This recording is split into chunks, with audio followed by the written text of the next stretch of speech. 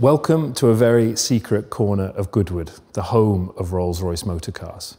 It's here in our dedicated coach build facility that the first expression in the next chapter of our contemporary coach building movement was handcrafted.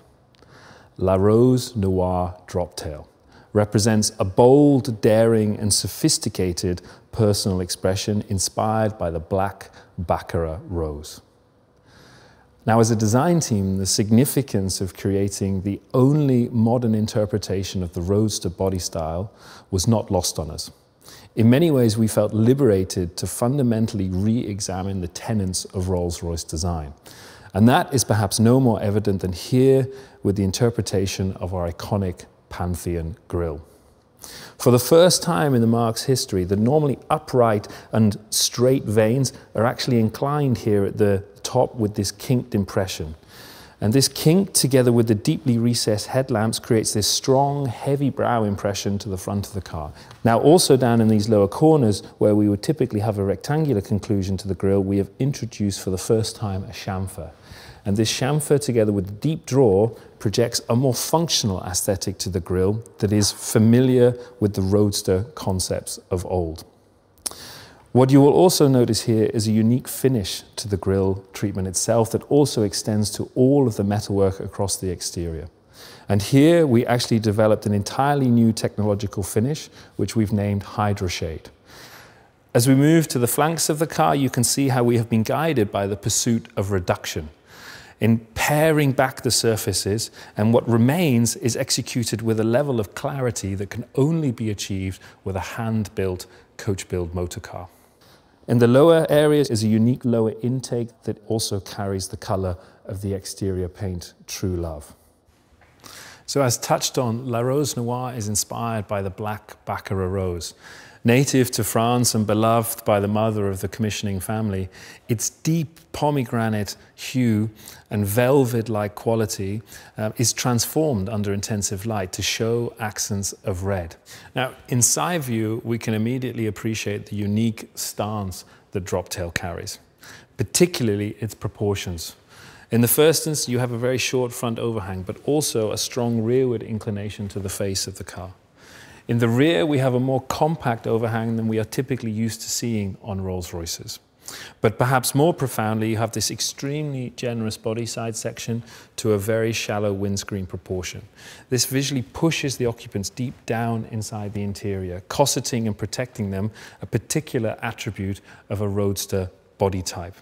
What you will also notice is a general distillation and purification to the form.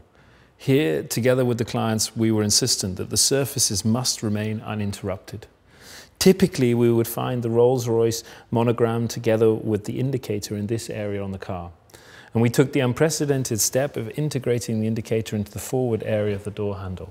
And also taking the Rolls-Royce badge and for the first time in its history, deconstructing it and visually representing it here with this beautiful silhouetted double RR executed with the ingot and laid atop the sail cowl elements. Now, as we come to the rear of Droptail, we can immediately appreciate the strong impression of sculpture, particularly the taper towards centerline. The view is dominated by this transom surface, which in many ways mimics the construct of a yacht. It also serves as an uninterrupted canvas for the placement of these jewel-like rear tail lamps. And while highly modern in their execution here, they actually serve as a historic nod to the early roadster-bodied Rolls-Royces. The dynamic nature of the roadster body is also evident in the proportion of the lower diffuser element that establishes the width, particularly the rear track of the car.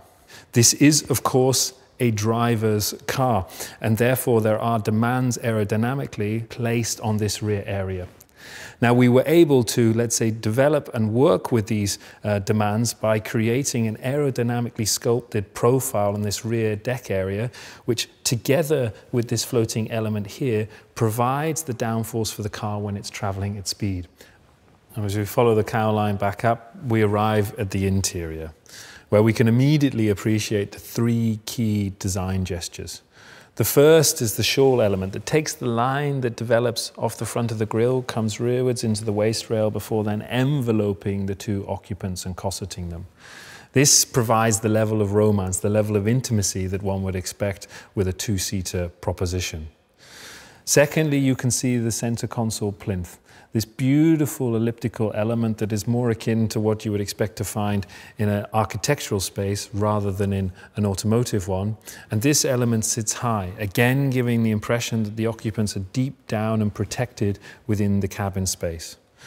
And the final gesture is, of course, the instrument panel, reflecting the materials and the colors of La Rose Noire, in particular the inclusion of the red accent together with the high precision metalwork, but as a first for us, also the incorporation of the parquetry into the center needle coins of the dials themselves.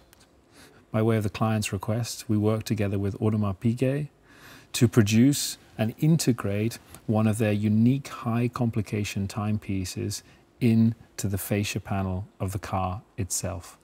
But moreover, fulfill the exacting wishes from the client that it should also be wearable on the wrist. Now, when the client is to enter the car, they can then remove the timepiece and place it into the clasp holder here, where it will retreat back into the instrument panel and the straps can be stowed separately. And then, of course, to the real showpiece of La Rose Noire. The simple request from the client was to create the impression of floating roses as if they had been scattered across the interior by hand. Here, there was this beautiful merger between the tried and tested techniques of an age-old practice of parquetry with an achingly modern design that represents an abstract depiction of the rose petals. These triangular elements are made up of 1,603 individual pieces. It took three years to move from the formative development through to the production of the piece that you see in here. Now, this highly contemporary depiction of the rose petals is not just exclusive to the interior. We actually bring the theme out onto the aft deck here. Now, interestingly, we execute it with a completely different technology, pulling on the very best skills within our paint area.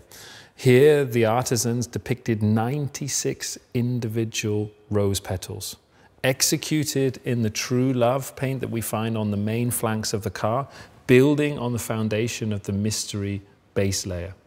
But more interestingly, they're all hand stenciled and hand sprayed, but done so in a way, as the client insisted, that there could be no visible detection between the surfaces to understand that they had been applied by hand.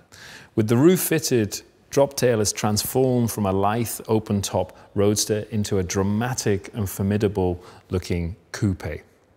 Here as a design team, we actually studied 1930s hot rods from the West Coast to appreciate the generous body side section to the very shallow glass proportion in here, together with the fast and accelerating roofline here.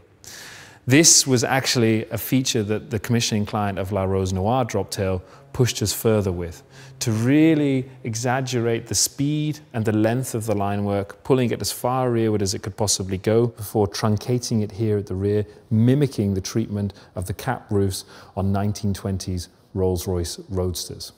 And here we pioneered a large application of glass a beautiful, uninterrupted and rather pure treatment here that sits across the entire upper surface of the roof itself.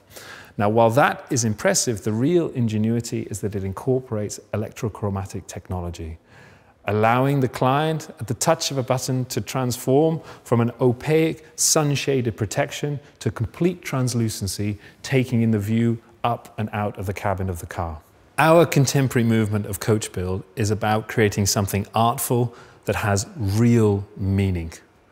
La Rose Noire Droptail is glamour distilled, imbuing the personal passions and distinctly bold visions of the commissioning couple.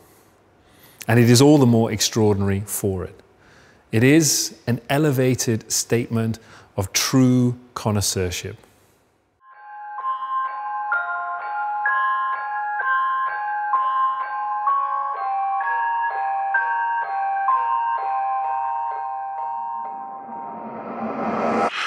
Enough things to lose hope.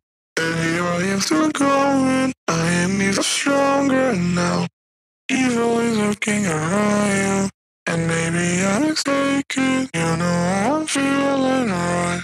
Got something on my face, something in my veins. It hurts. And I don't know what it takes, don't know what it takes to move on.